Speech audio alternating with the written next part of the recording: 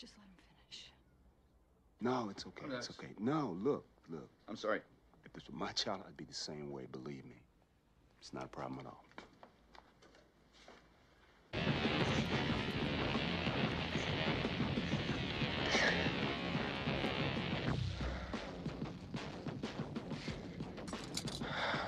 Kid, I know this is hard on you, right? But you gotta hang in there.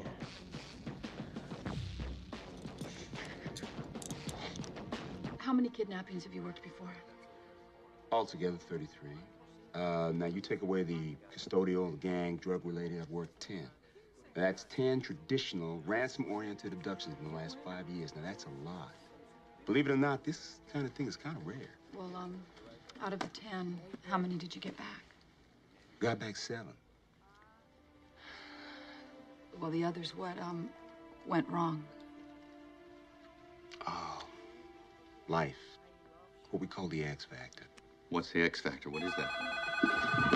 Are we set? No! Get shot! Any demands would come up. Now, you just agree. You better know he's in charge. Your only priority is getting your boy back. Get your boy back. You follow me? You've got to give us some time, Mr. Mullen. You have to speak to your son, ask for some sign that he's alive. Any information you can get. Then tell him he has an allergy. He has uh, some medical condition. You want to know what kind of weather is he in? Is he indoors? Is he outdoors? Are we set? Go! Get your boy back. Hello?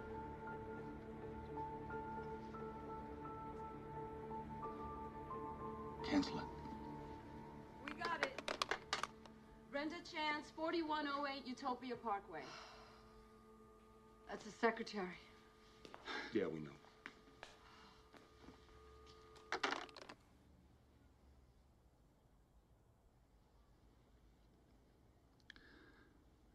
Is our son dead? Don't ever think that.